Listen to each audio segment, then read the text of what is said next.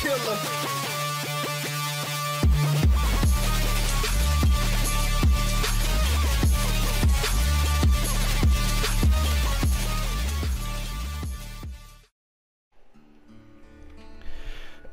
Yo, what's going on guys? It's Gamer here back again with another video and today we're going to be reviewing Dragon Ball Super episode 97 and the title for this episode is Survive.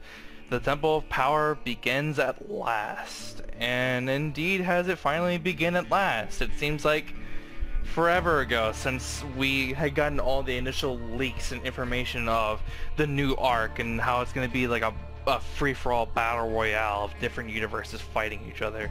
It literally feels like forever ago, but yes, episode 97 is where all the action, all the fighting of all 80 warriors from all the different universes in Dragon Ball Super finally begins.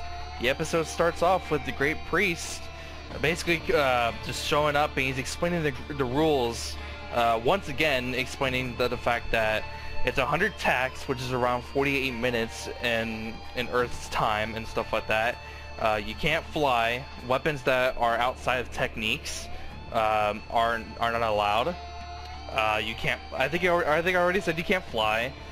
And if you get knocked off the stage, uh, we actually got a little bit more uh, information on that. If you get knocked off, the, if you get knocked off the stage, then you're gonna basically just be put up on the stands or the bleachers where the, your God's Destruction and an Angel and Supreme Kai are to be at. That's basically what is going to happen if you fall off the stage, supposedly. So of course, like we're getting all these uh, these little little scenes and shots of all the, these different fighters from the different universes, and it's just a build-up. It's just a build-up of the actual like fighting actually finally being prepared to begin and then we get a scene of Gohan basically saying we're gonna follow we're gonna follow the Supreme Kai's plan and just go with teamwork because that's basically gonna be the best thing that we can go with so we all we all don't get knocked off the fucking stage.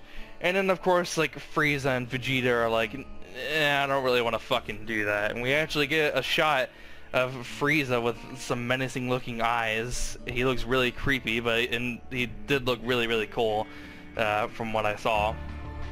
We get another scene from Universe 6's Kale and Caulifla, and, uh, and Kale being the character and her personality how it is, she realizes that all these guys are here in this in the fighting stage for the tournament of power are very very strong so she's really intimidated and she thinks it's very scary and Caulifla is trying to say like just let out all of your power and all that shit you know just be all roary and flashy like how Kale was uh, a couple weeks back when she finally went Super Saiyan for the first time and all that jazz. So the fighting officially begins and immediately it just starts off with a whole bunch of explosions and ki blasts being shot off literally everywhere. There isn't an area where there isn't like a explosion going off. Everyone's just going at it at each other and then Universe 7 is just sitting there kind of just like, oh, just kind of like what the fuck.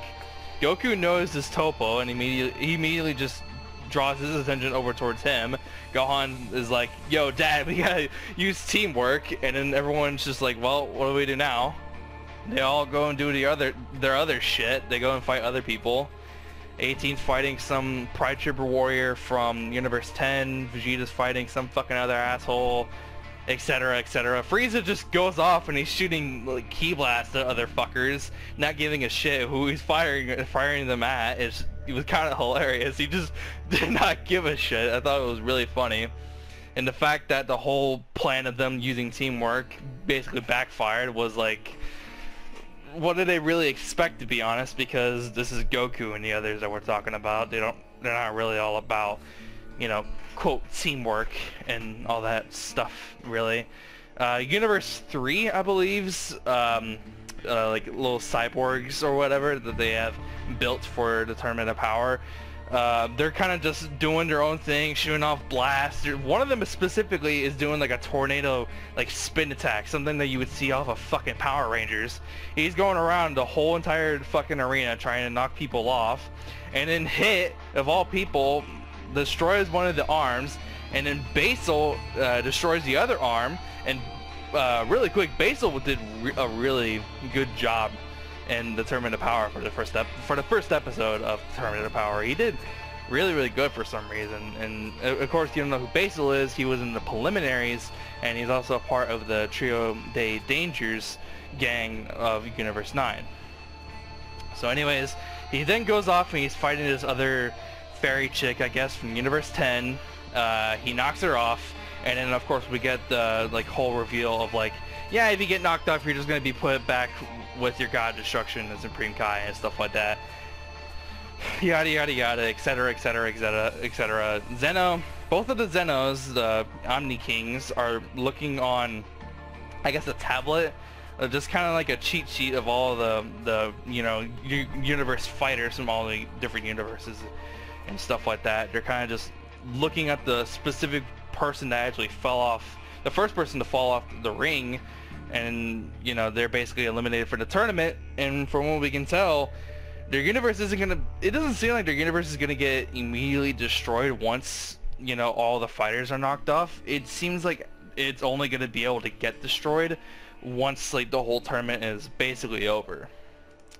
I'm not entirely sure. I'm trying to summarize the episode as the best as I can, to be honest, just because uh, there was a lot of fighting. There was mainly a lot, whole lot of fighting, and you have to really watch the episode yourself to really enjoy it. You can't really, I can't really talk about something that really piqued my interest besides the fact that this next scene where Gohan, Piccolo, Roshi, Krillin, and Tien are trapped in a corner. It's just them, uh, them five together, and then they're they're surrounded by a whole bunch of different fighters from different universes. Tien sh shoots off a solar flare. Piccolo shoots off a special beam cannon. Krillin shoots off a destructive disc, uh, and then Roshi and then Gohan are shooting off a different ki blast at some of the other fighters. They're standing there, just kind of just kind of like it didn't it seemed seeming like it doesn't it didn't really do anything so this that's what really makes this tournament of power very interesting is that some of these characters that we know and some of these characters that we don't know it's just showing them off basically saying this isn't going to be a pushover a lot of these guys aren't going to be a drastic pushover it's going to be very very hard for universe 7 to be able to do anything against these guys and then this e honda looking motherfuckers fighting Basil again almost gets knocked off the ring, uh, but sadly it doesn't work. He like slams his fist onto the stage and then stops himself from moving because Basil actually shot off like three or so ki blasts to knock him off, but it didn't work, right? And then of course Goku's deflecting off of the ki blast from, I think this is a spy from Universe 4, Universe 4 I want to say, like I said, and then he runs away he knows this Toppo shooting off ki blast at some other dude, I don't know who. Uh, he, he's just wanting to fight him, obviously, and seems like Toppo seems to want to do the same. Toppo ends up fighting someone else. Goku knows is Jiren.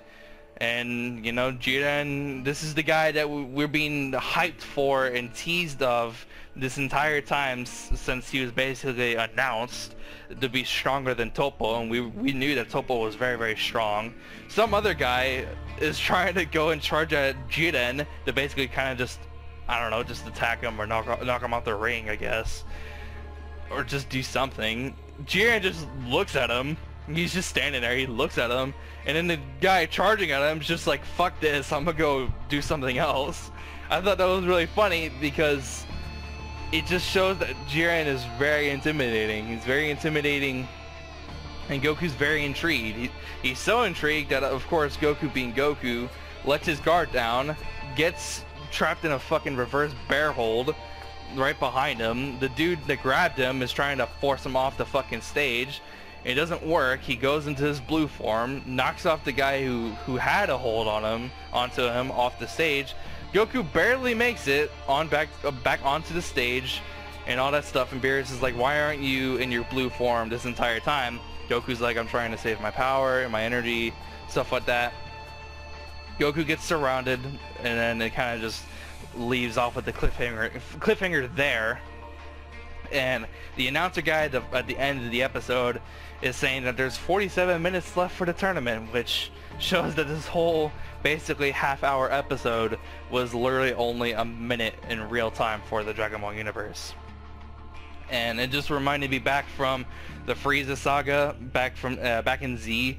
If for some reason you haven't watched it, go watch it because literally it, it was five minutes in like the course of like 40 episodes. It feels like I'm I'm probably uh, exaggerating a little bit, but that's just the best example I can give, I guess. But that's basically just the end, the end of the episode. Uh, it leads off with the cliffhanger of Goku being surrounded by other different fighters. Three of them being uh, Trio de Dangers, all three of them, and it just kind of leaves off there. Uh, next week, or not rather, not rather, rather not next week because you're gonna see this on Tuesday. Uh, this Saturday, we're gonna. this Saturday, we're gonna see another episode of the Tournament of Power. It's going to be very exciting. And actually, tomorrow when you do see us, because like I said, you're going to be watching this on Tuesday, uh, is the next episode for Boruto, uh, episode 14, if I believe so. And that's going to be really exciting as well. And I'm going to go ahead and end the video here. If you guys did enjoy, be sure to drop a like. And if you want to see more videos just like this, uh, be please be sure to subscribe and all that stuff if you want to see more terrible commentary like I always say in every single video. I'm, I'm obviously kidding. I like to poke fun at myself. But anyways, if you guys enjoyed, drop a like. If you want to see more, subscribe. I'll see you guys later. Peace out.